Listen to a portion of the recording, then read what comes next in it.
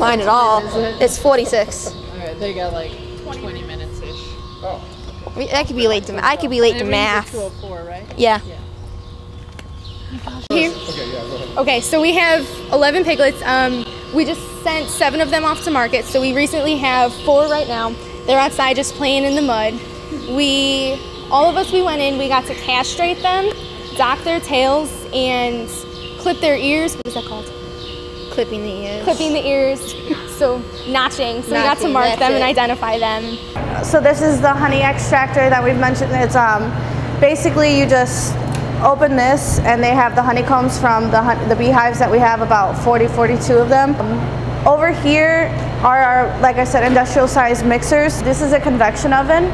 We use for some of the high, um, higher scale things that we do as well. We have a whole unit on food microbiology. So students um, research an individual pathogen. So we go through all of them, Vibrio, E. coli. All of the kids get an overall um, picture of the types of pathogens and how to avoid the specific ones and what the you know what kind of um, illnesses they cause and things like that.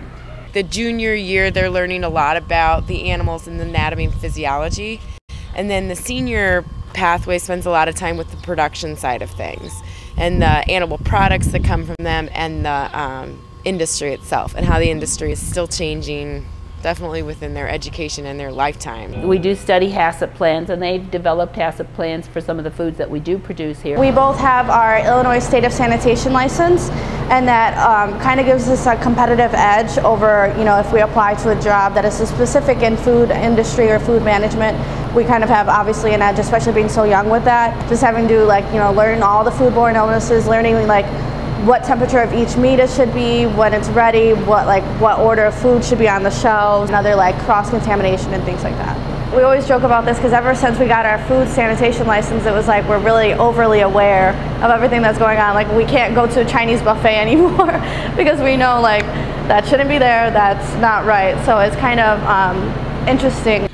Well, to be honest with you, most kids who come here uh, don't see themselves in the agricultural industry, and we have to kind of convince them that there's a role for them. They don't have the exposure, they don't have any idea of where they could fit in that. And so, this school is a really unique um, fit. The agricultural industry needs to diversify you know, typically it came from what you're talking about, the rural, you know, farm boy who would go to U of I and get a degree in ag and then, you know, go back into the rural and, you know, whatever. Okay, I grew up in the heart of Chicago. Um, I've never really had any background with animals, never had any pets.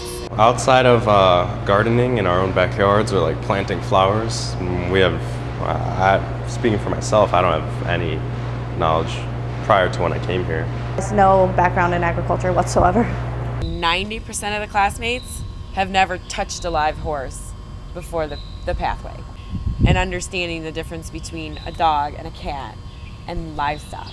You know, it's it's a different it's a different way of being around animals and, and understanding their when animals have a purpose versus just being a pet, they are treated in very different ways. yeah. Well, you know, the truth of it is um, production has become so efficient that we don't need very many people back in production, but we need a lot of people in the industry. And there's less and less rural people for them to draw from, so they have to start from another pool. How do they get those people interested in agriculture? Well, to give them exposure at this age is just an incredible benefit to these kids, as well as to the universities and businesses to be able to try to get really highly qualified people. Uh, international agriculture and development, uh, developing uh, food systems for uh, emerging countries. So working on their land systems and food systems and uh, teaching people uh, sustainability practices.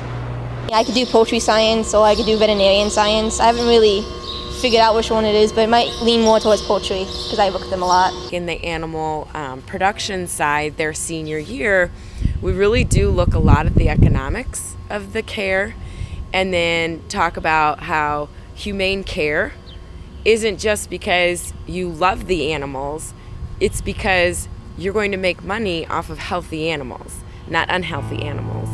And so um, I kind of able able to convince all parties in the classroom, whether it's that they love the animals or whether they want to make money off of the animals, that the humane care is the only way to go. Yeah, I've never had any hands-on experience or opportunities with farm animals or even some domestic house companions before I came here. But now I even have my own farm animals and I'm in the middle of the city.